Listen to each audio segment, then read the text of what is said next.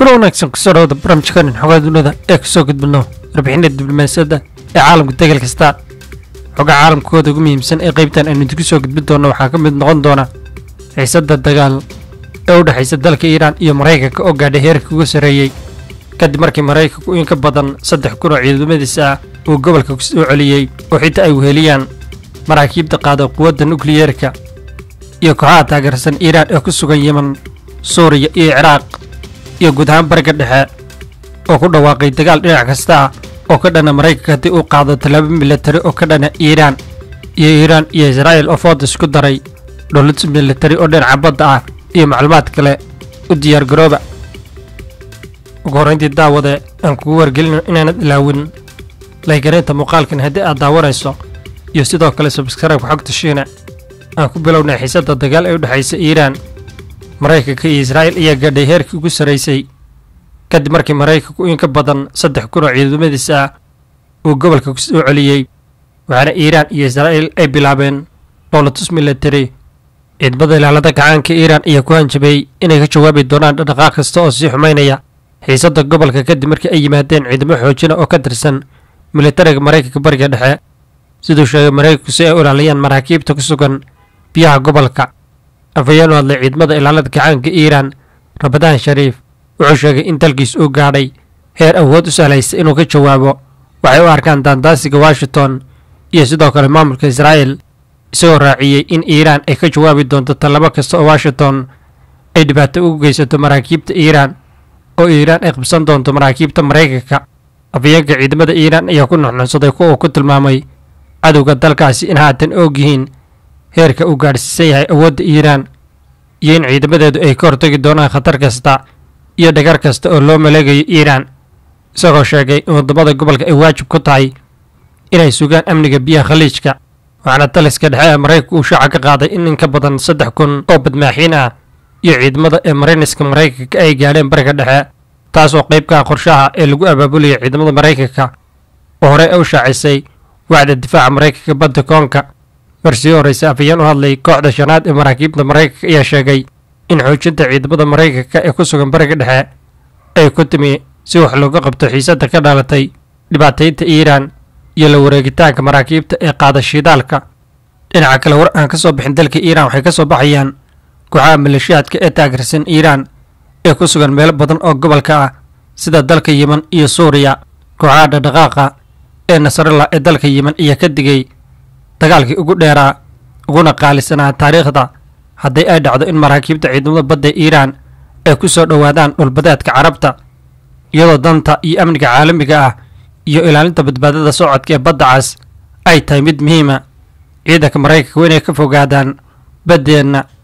wasiir ku-xigeenka arrimaha dibadda ee xukuumadda badbaadada qaranka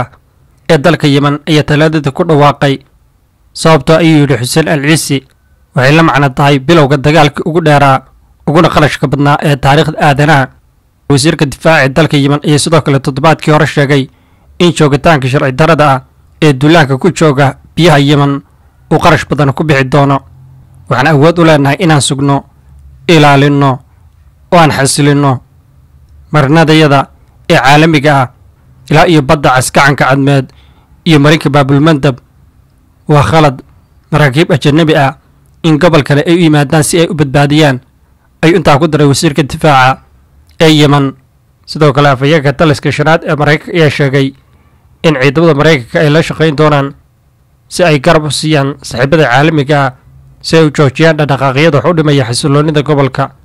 isagoo xusay in kordhintani ciidamada maraykanka bariga dhexe ay xaqiijinayso sida maraykanka ay uga go-an tahay amniga gobolka. Kooxda shanaad ee maraykanka ayaa sidoo kale ku dhawaaqay biyaanu soo saaray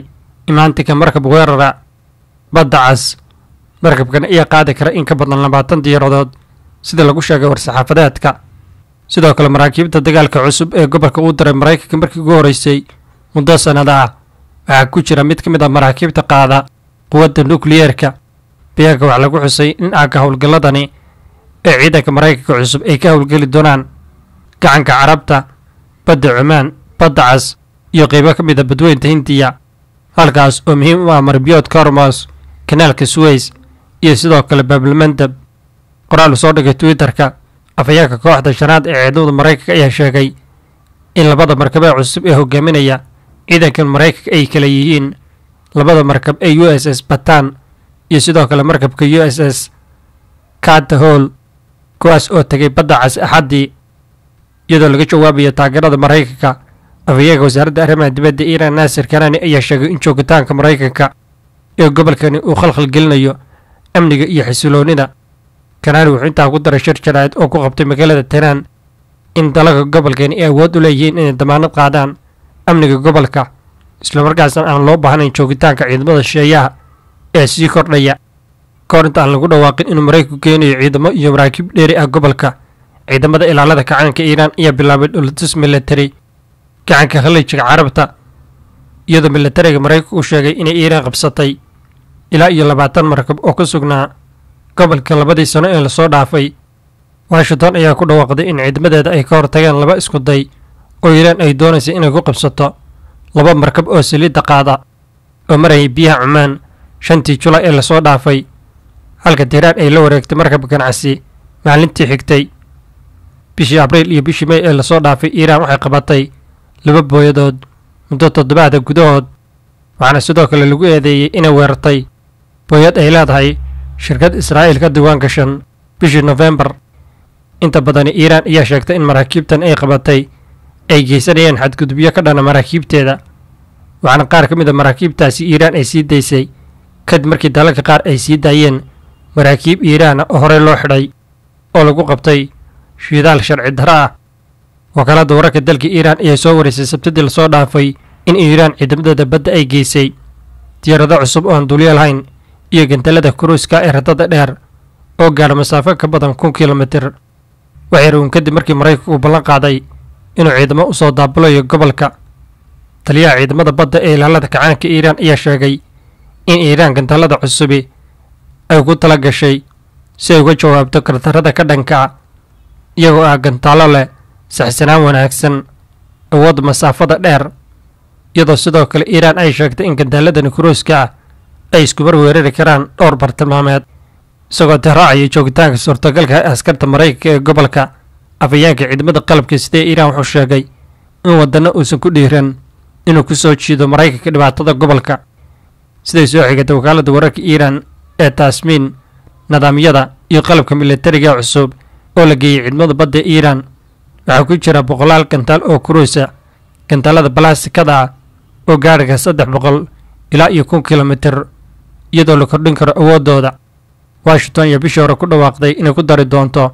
ciidankeeda jooga bariga dhexe diyaaradaha dagaalka f five iyo sidoo kale diyaaradaha f iyo maraakiib dagaaloo cusub si ay ula socdaan marbiyoodka. Qiyaastii shan meelood meel ee saliidda ciidhan ee dunidu ay ka gudbaan ee horomos oo u dhexeeya iiraan iyo dalka cumaan marka laga yimaado kordhinta ciidamadiisa maraykanka ee gobolka israa'iil ayaa sidoo kale waxay bilowday dholotus military oo dhinaca badda ah iyadoo ku tijaabinaysa hubkeeda cusubi nidaamka ugu dambeeyey ee kahortaga dagaalka elektroniga ee dhinaca badda. Ayay sheegtay iiraan inay ku samaysay tijaabooyin ah iyadoo sheegtay in si guuleh loogu guulaystay wasaaradda difaaca ee maamulka yuhuudda ayaa sheegay in tijaabooyin taxanaha ay ku sameeyeen dholotusyadani nidaamka dagaalka elektroniga ee dhinaca badda si ay ugu diyaargarowda sida sheegtay halista ka imaan karta gantaalada tirada badan ee iiraan iyo xulufadeeda intii lagu jiray tijaabooyinkani nidaamka dagaalka elektroniga dhinaca badda wuxuu muujiyey awoodda uu leeyahay inuu si waxgoola uga jawaabo xaaladaha adag ee weerarka gantaalada isagoo leh wareegyo qiyaamo ah oo ku burburi karo sida sheegtay israa'iil. Qaybtani xogaa waa naga intaa inta xogaa kale idiisoo gudbi doonno isma dhaafno waad ku mahadsantahay la socoshada xogta shine daawad ha ilaawan muuqaalkani haddii aad daawanayso iyo sabskraibka xogta shine. Isma dhaafno